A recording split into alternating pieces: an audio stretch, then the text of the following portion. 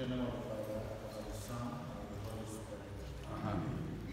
The grace of our Lord Jesus Christ, the love of God, and the communion of the Holy Spirit be with you all. Dear brothers and sisters, since the beginning of Lent until now, we have prepared our hearts by penance and charitable works. Today we gather together to herald with the whole church the beginning of the celebration of our Lord's Paschal mystery.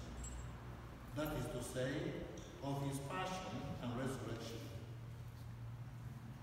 For it was to accomplish this mystery that he entered his own city of Jerusalem.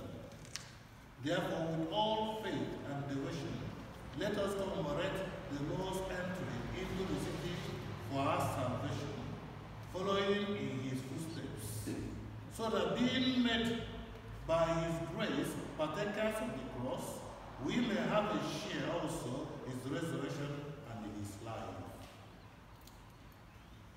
Blessed of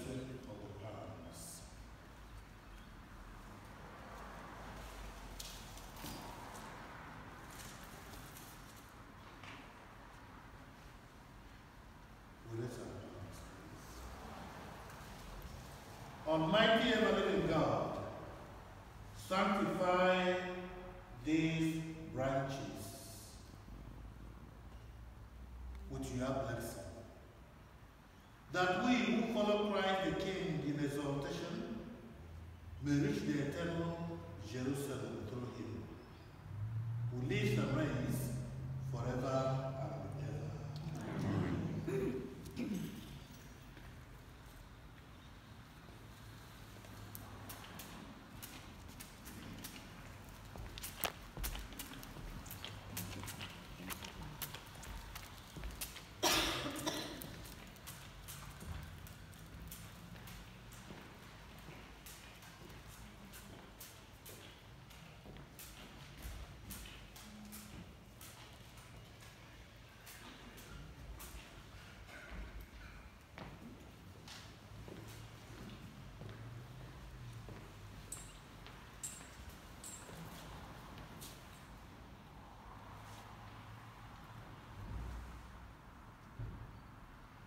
The Lord be with you.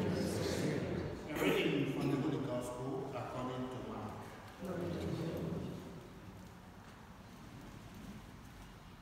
When they drew near to Jerusalem, to Bethphage and Bethany, at the Mount of Olives, Jesus sent two of his disciples and said to them, Go into the village opposite you, and immediately as you enter it, you will find a colt tied, on which no one has ever sat.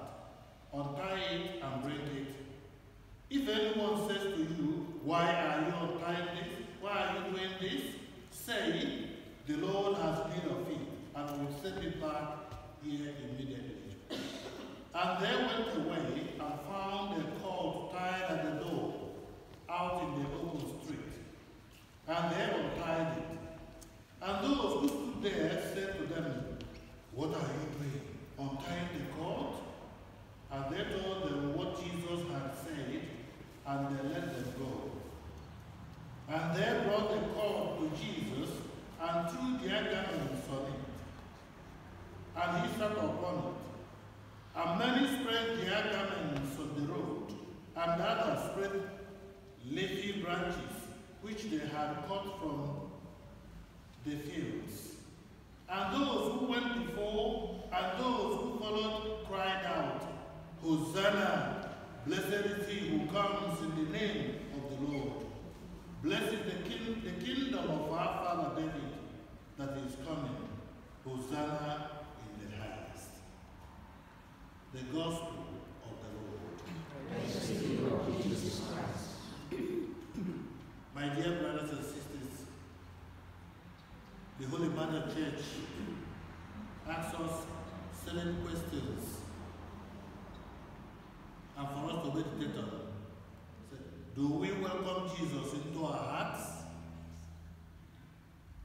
And then asking us, Am I ready to surrender my life to Him during this Holy Week and welcome him into all areas of my life as my Lord and Savior, singing Hosanna. Today we receive palm branches at the Divine Liturgy. Let us take them to our homes and put them in a place where we can always see them. Let the palms remind us that Christ is the King of our families, that Christ is the King of our hearts, and that Christ is the only true answer to our problems and true answer to the quest of happiness and meaning in our lives. And if you do proclaim Christ as our King, let us try to make time for him in our daily life our daily prayers. Let us be reminded that he is the one with whom we will be spending eternity with. Let us also be reminded, Father, that our careers, our education, our finances, our homes, all of the basic material needs in our lives are only temporary. That here is not our home, we are on a journey. Let us prioritize and place Christ the King as the primary concern in our lives. It is only when we have done this that we will find true peace and happiness in our confused and complex world. Then another question is, are we ready to become like the humble donkey that carried Jesus? That as we carry Jesus to the world, we may receive the same welcome that Jesus received on Palm Sunday. But we may also meet the same opposition, crosses, and trials later. Like the donkey, we are called upon to carry Christ to, the, to a world that does not know him. Let us always remember that a Christian without Christ is a contradiction in terms. Such a one betrays the Christian, Christian message. Let us become transparent Christians during this Holy Week, enabling others to see in us Jesus' universal love, unconditional forgiveness, and sacrificial service. Let us be Christ to people around us, not minding of our crosses, but the grace of God will see us through in whatever we do.